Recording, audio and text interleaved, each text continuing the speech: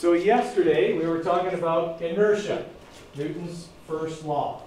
Okay, and we were looking at applications of that, okay, how it's a big part of a lot of the safety systems that are in your car, along with Newton's second law.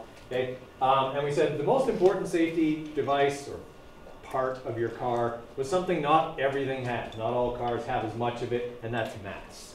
Okay, mass is a measure of how much matter an object or system contains. Okay, so the bigger it is, the more mass it would have because the more matter it would have. If we're comparing these two objects, you can't get a penny anymore, but okay, you had a small coin, there's not a lot of, um, of matter there. So it doesn't have very much mass. By comparison, a supertanker has a lot of mass. Okay, there's a lot of matter there. So it's much bigger and it would thus have a lot more inertia. It's really easy to move a penny. Flick it and off it goes. Okay, whereas if I do that to a supertanker, well, virtually nothing's going to happen. It has far, far more inertia. Now, on Earth, obviously other factors play a part in not being able to move a supertanker very much. What if I had the supertanker out in space, where there wasn't any like air resistance or gravity or anything like that? Would I be able to move the supertanker then? Yes, it could.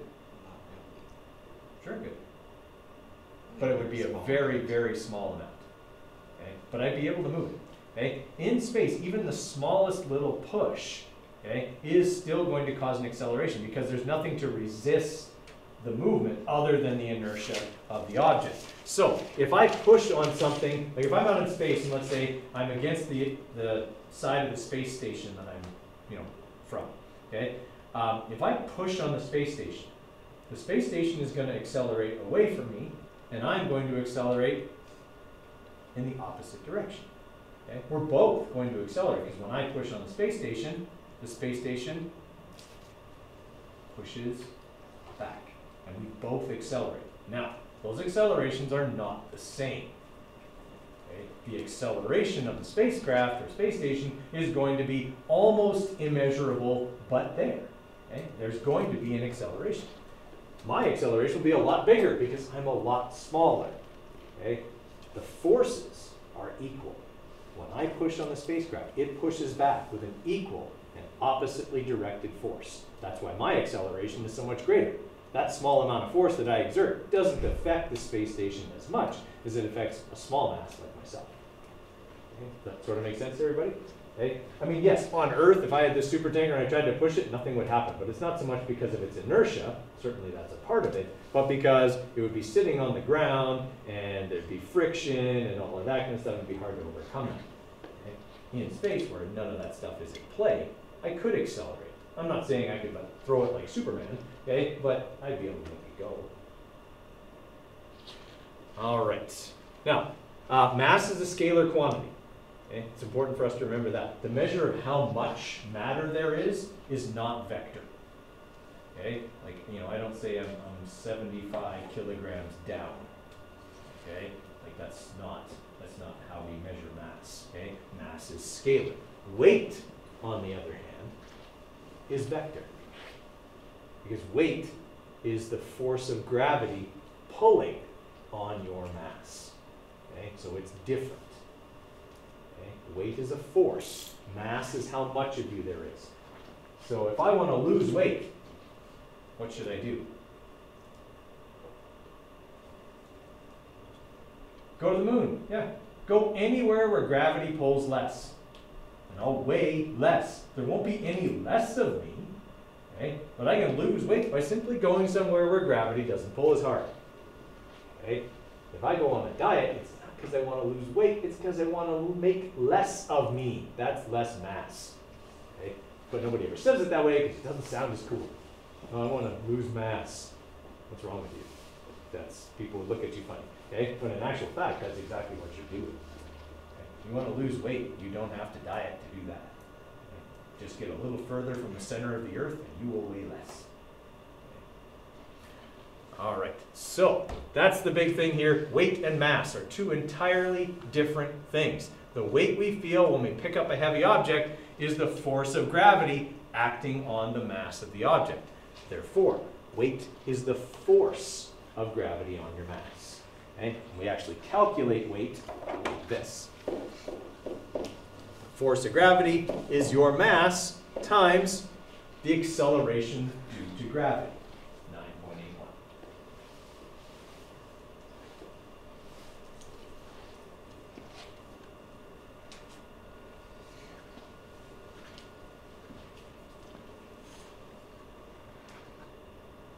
Okay, Everybody all right with that? Making sense? Okay. Now, yesterday we were talking about how important mass is as a safety feature. Right? Now, I'm going to kind of show you what that looks like.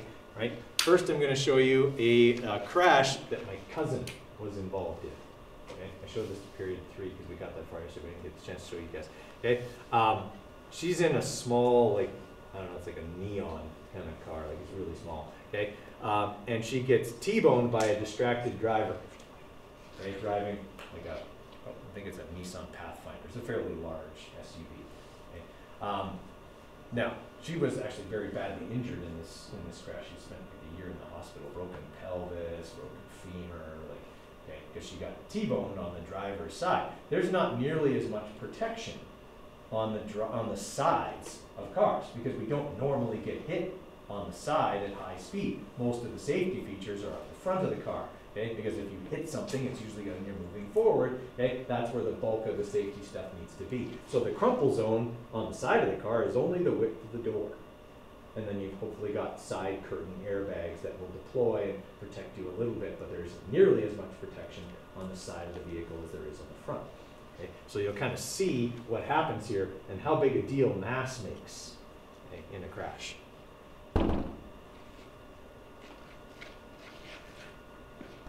Okay, so my cousin is in the white car in front of this one. Okay, the distracted driver is going to come in from the left. Okay, this car here probably saves her life because he gets out in the intersection and gets clipped first, and it takes a bit of speed off of the distracted driver who doesn't even hit the brakes until about here. Okay.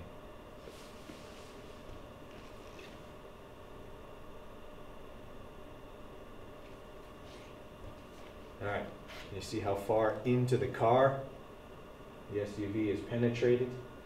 Okay. And it pushed her quite a ways, okay, because he has more mass than she does.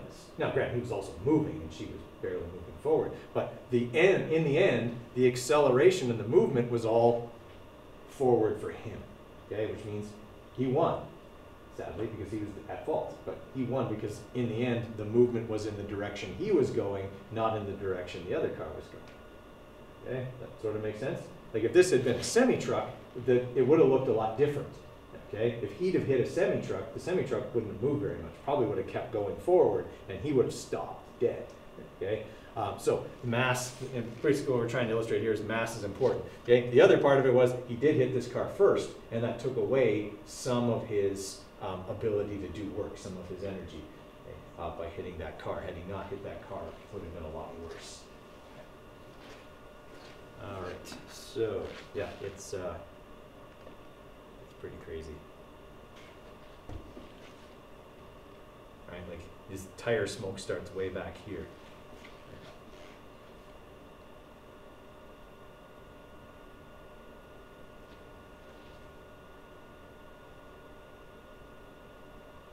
Least he didn't run off. He was trying to take care of her.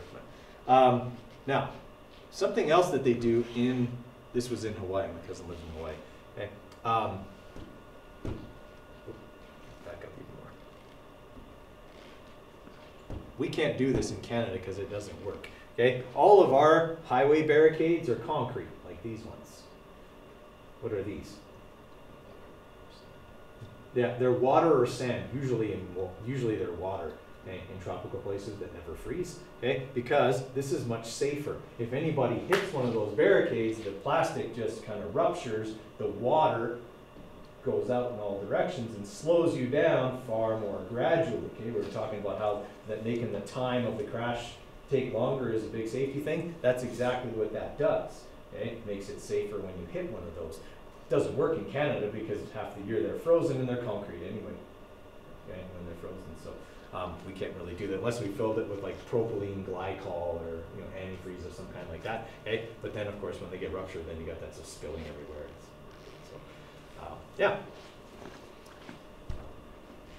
Okay, now we got a couple of crash test videos. I gotta pause the recording for these though. Okay, so Newton's first law, this whole idea of inertia, we looked at the, the video yesterday with Homer, okay, and he couldn't stop, with Woody who just drifted away, okay, those kind of things. That's, that's kind of the, the most um, kind of visually representative of Newton's first law, okay? Um, if nothing else happens to the object, it's going to continue to travel at a constant velocity. Now, that also means a straight line. Okay? If it's a constant velocity, then the vector can't change either. Okay? Because it's possible for something to travel at a constant speed, but actually be accelerating. Okay? Because acceleration is any change in velocity. That includes direction. So when I go around a corner, I go around a corner at a constant speed, but my velocity is changing because I'm constantly changing the direction I'm going. Okay? I can't change direction unless there's an unbalanced force that's pushing me that way. It may not make me go faster or slower, but it can turn me, and that still counts. Okay? A hockey puck, it just slides along the ice and it goes perfectly straight. Okay? It doesn't change direction because there's no unbalanced forces. Same with a curling rock. If you don't put any spin on it, nobody sweeps it, it goes perfectly straight because there's no unbalanced forces to make it turn. How do you turn a curling rock? Spin it. Yeah, you can put a spin on it. Okay, if you do an out turn, it'll turn that way. If you do an in turn, it'll turn that way. Okay, um, and your sweepers. Okay, if you've ever watched, it, you know the guys like hurry hard, and they're like you know doing the sweeping in front of it. Okay, if your sweepers are really good, they can actually direct and steer the um, the rock, not by putting a broom on it and moving it around, but by actually sweeping on one side or the other. Because when they sweep, what they do is they melt the little uh, beads of ice that are on the top of the sheet of ice. Okay? They melt those, and when that happens, it's more slippery on one side of the rock than on the other. And it's going to naturally slow down more on the side where there's more friction, and it'll actually turn that way. So if you want a, a, a curling rock to turn, so here's our curling rock, okay, and I want it to go over here, then I would actually sweep on this side a little bit. Okay? Because then there'll be more friction in the direction I want it to go, and it'll be pulled in that direction okay, by that frictional force. All right. So this is Newton's first law. Okay? An object at rest will remain at rest, and an object traveling at a constant, well, I should say velocity, not speed, velocity, okay, will continue to do so unless acted upon by a net force.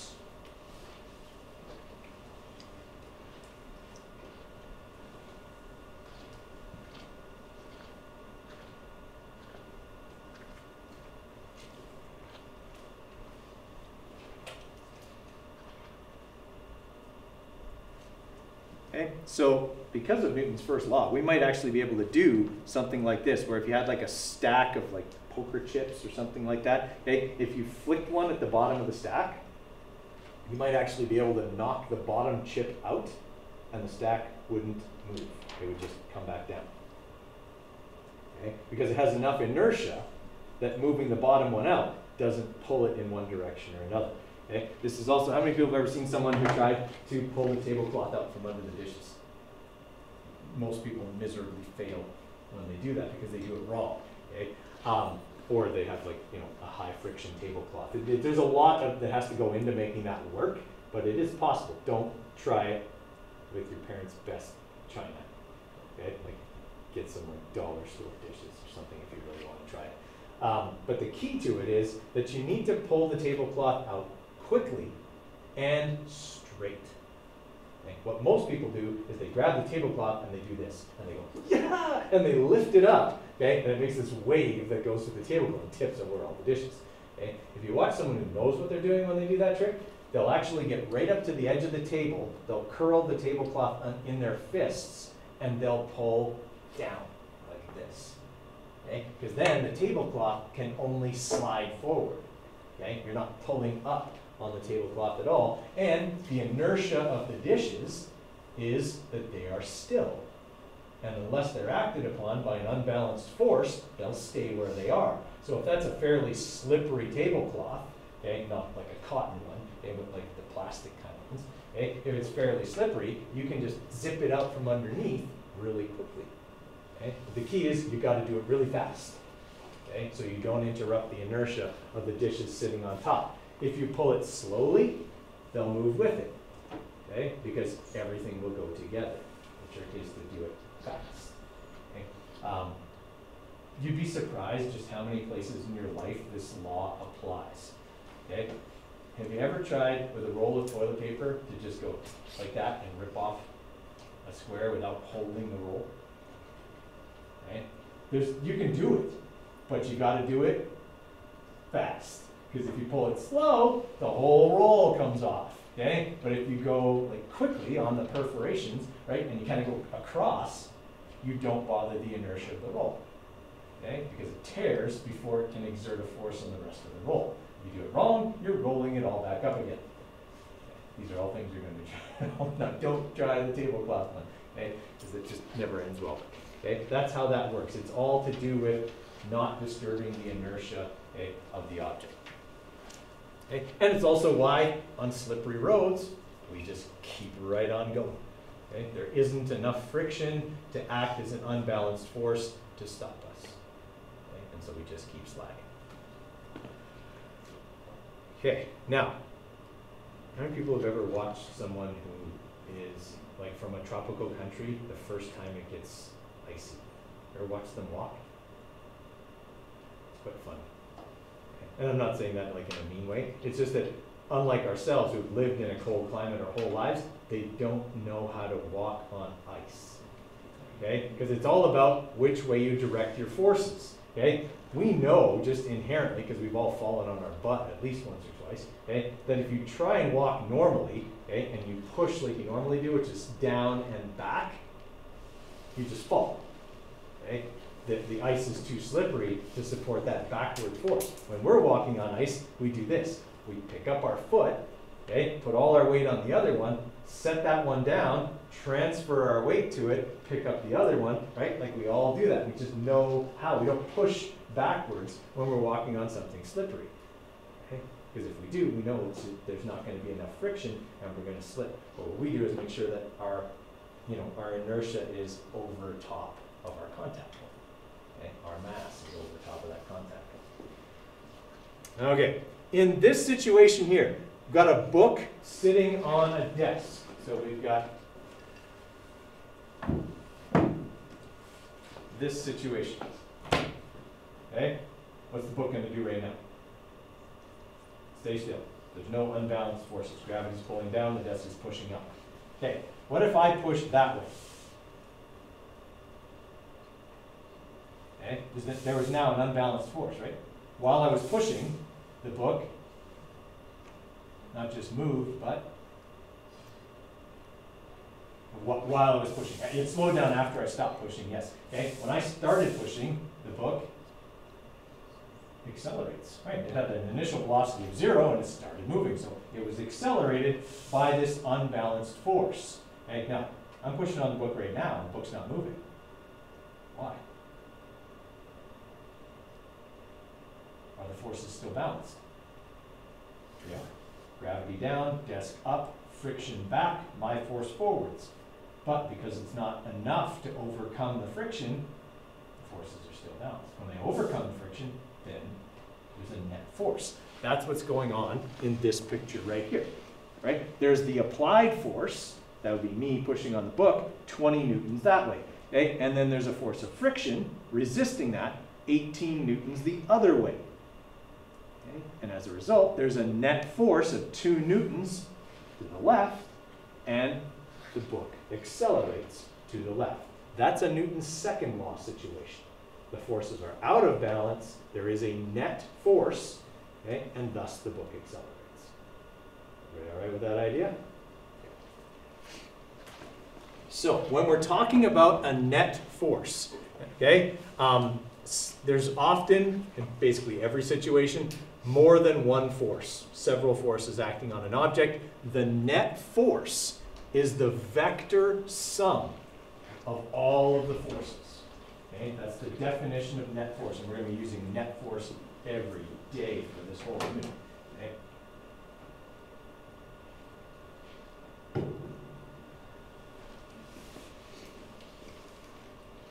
So for that book, we actually didn't have this situation that they drew. Okay? Here's the desk. Here's the book.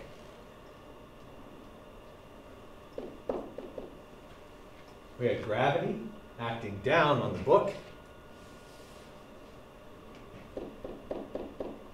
We had what's called the normal force, the force of the desk, pushing up on the book, and those two forces are equal, right? Because the book's not accelerating vertically, is it? Okay, so those two forces add up to zero, okay? And then there was, okay, my force going that way, we would call that an applied force. And then there was friction, resisting, but it was smaller. Okay, so the net force is the vector sum of all these forces. How do I find the vector sum? I draw a vector diagram. Okay, so here's the, here's the starting point. Okay, there's the force of gravity. There's the normal force. Okay. There's my applied force.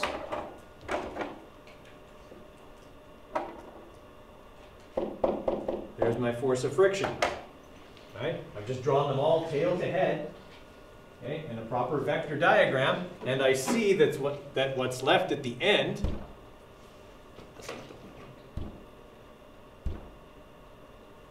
Okay, what I've got at the end, I'm gonna have to draw it in red, I guess, okay, is right here. This is my net force. That is the vector sum, or the resultant of, all of these forces.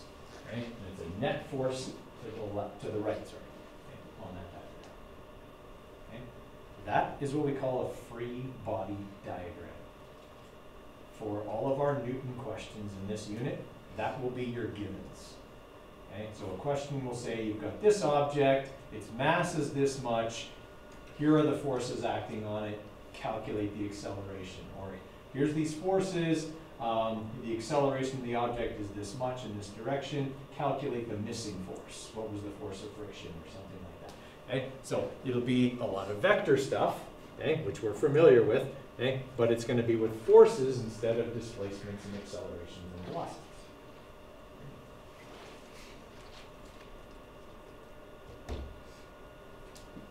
Okay, so a net force causes all objects to accelerate. Their acceleration is dependent on their mass, okay, according to Newton's second law. The net force is the mass of the object times its acceleration. Guys all done? Yep. Okay, awesome. Just come on in. Okay, so when a net force acts, it causes an object to accelerate that acceleration is directly proportional to the net force and inversely proportional to the mass. Okay, what that means in English is that the bigger the net force, the greater the acceleration. The bigger the mass, the smaller the acceleration. And that's from Newton's first law. Newton's first law says that the more inertia or the more mass you have, the more likely you are to keep doing what you were doing at first. Okay, so mass is going to affect acceleration opposite. Okay, the bigger the mass, the smaller the acceleration. Okay, I mean that was the whole idea yesterday when I said two two objects are coming towards you on the street: a kid on a tricycle and a school bus. Okay, you got a chance if you step in front of the kid with the tricycle because it's got less mass okay, got less inertia than the bus. Okay, so quantitatively, the inertia of an object is measured by its mass, okay, such as that of a train, indicating a large inertia. So inertia is the natural tendency of an object to remain at rest or in motion at a constant velocity, okay, or constant speed along a straight line, which is the same as constant velocity, okay. The mass of an object is a quantitative measure of inertia. The bigger your mass, the more inertia you have. Okay, everybody all right with that idea?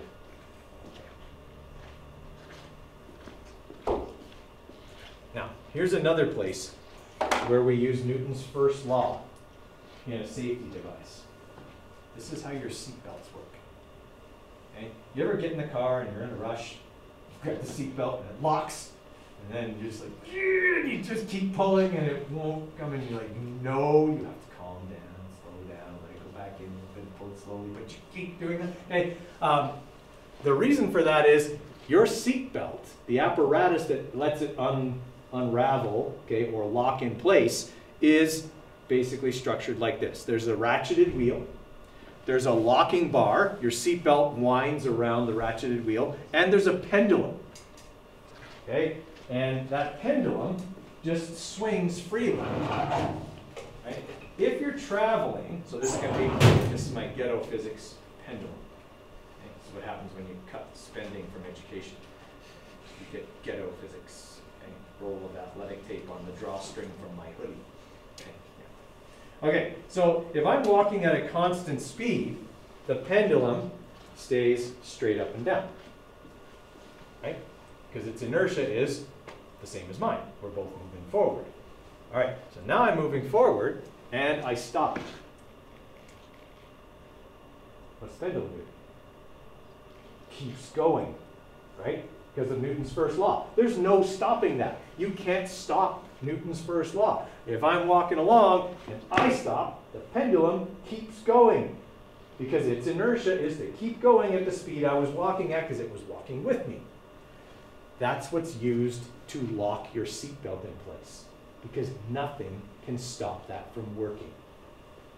Okay? You don't want something electronic to govern the locking of your seatbelt. If anything fails in the microchip, power supply, or anything like that, then the seatbelt won't work. Okay? This is infallible. The pendulum will move forward when the car stops suddenly.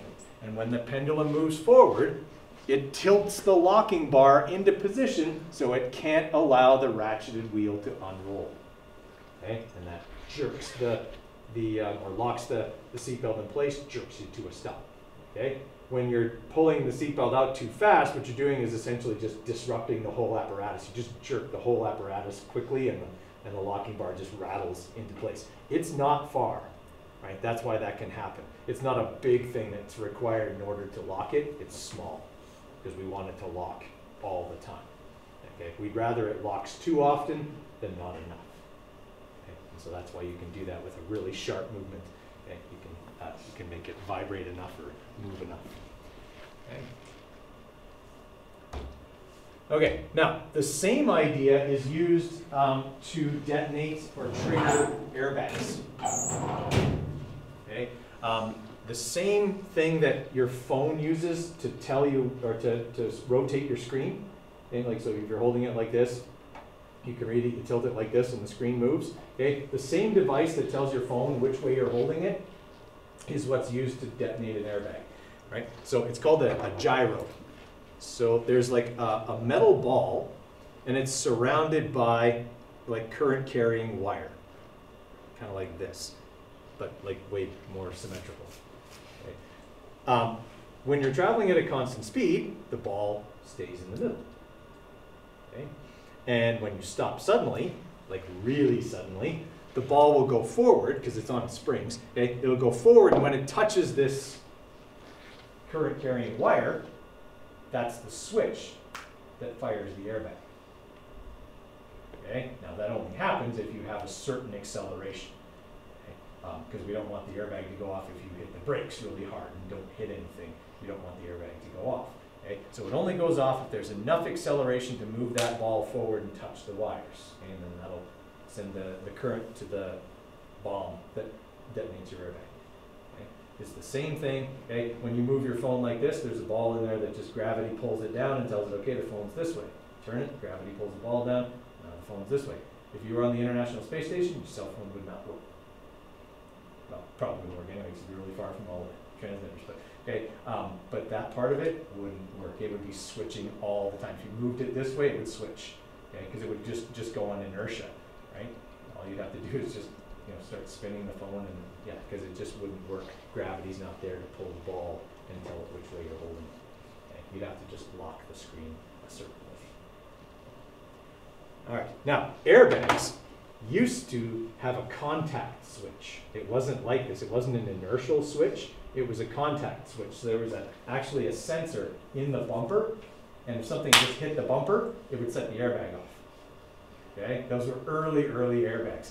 And there's this, I, I couldn't find it when I was looking for it the other day, but there was this video on YouTube of this guy in a convertible, like a Mercedes convertible, and there's this old lady crossing the street in a walker, and he's honking at her because she's taking so long to get across.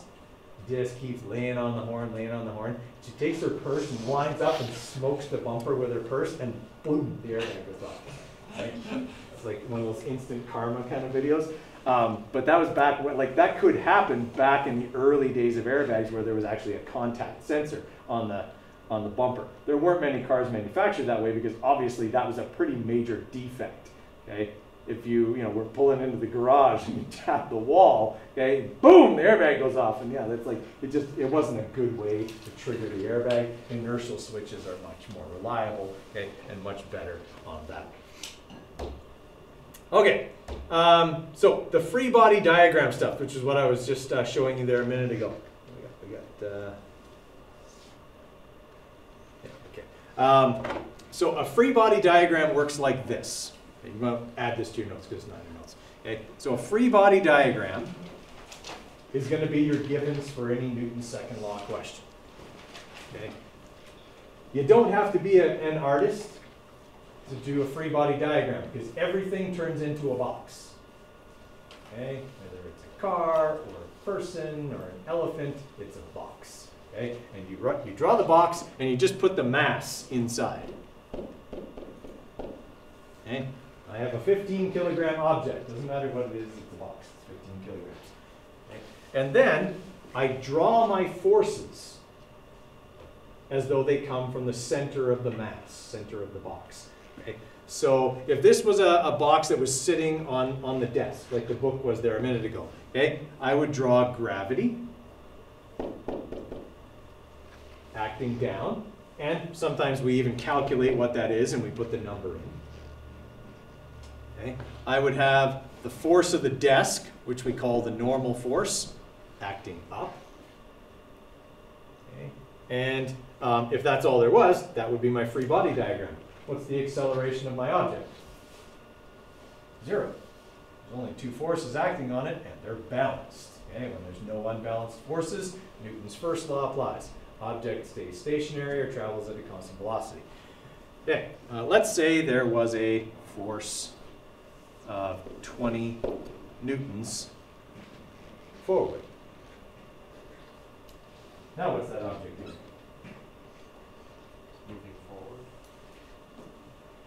How? Constant velocity or accelerating? Uh,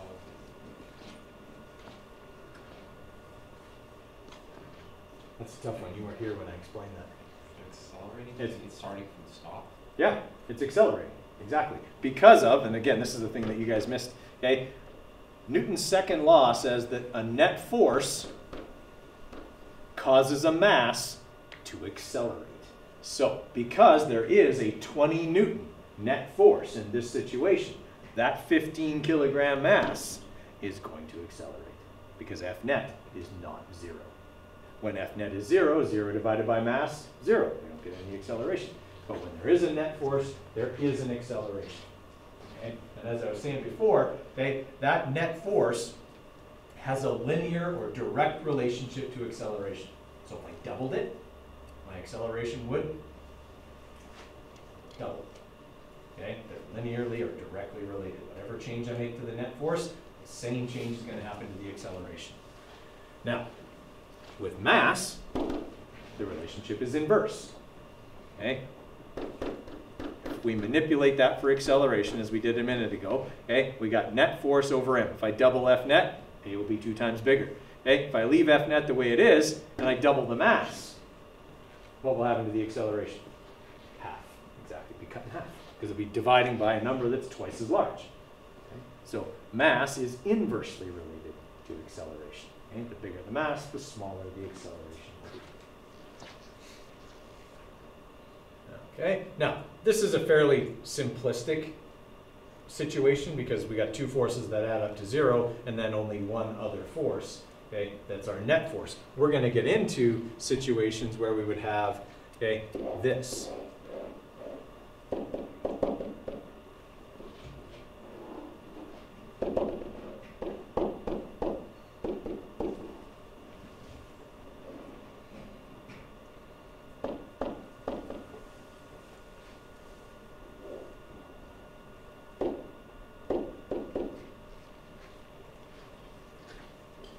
That number's too big. Four newtons. Okay? How am I gonna find the acceleration now? Well, first you would want to find the horizontal component of the ten newton force to see how you cancel with the four newtons. Second, I'll wanna do that. You're absolutely right, that is one of the steps that I'm gonna have to do. draw the vectors to help. Right, draw a vector diagram. All a free body diagram does is show you the forces that are acting and how they're going to act on the object. Okay, you never use it as your final vector diagram. Okay, it's just there to kind of act as your givens, identify your forces, things like that. Okay, in order to get my net force, net force is my vector sum of all the forces that are acting on the object. So I would have 16 newtons.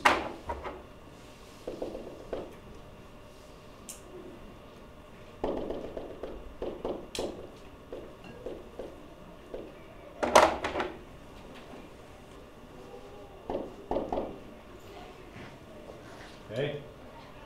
So, when all of that stuff happens, okay, this would be my net force. Okay, so my resultant is now my net force.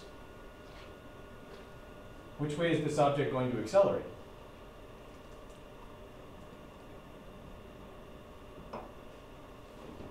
Yeah. If that's the way all the forces add up, that's the way the object's being pushed. The object has to accelerate in that direction. The acceleration of an object and its net force always share a vector. Okay, their vector is always the same because the net force is what causes the acceleration. So they always have to be the same vector. Okay, does that sort of make sense? I can't push something east and have it accelerate south. Okay, that's just.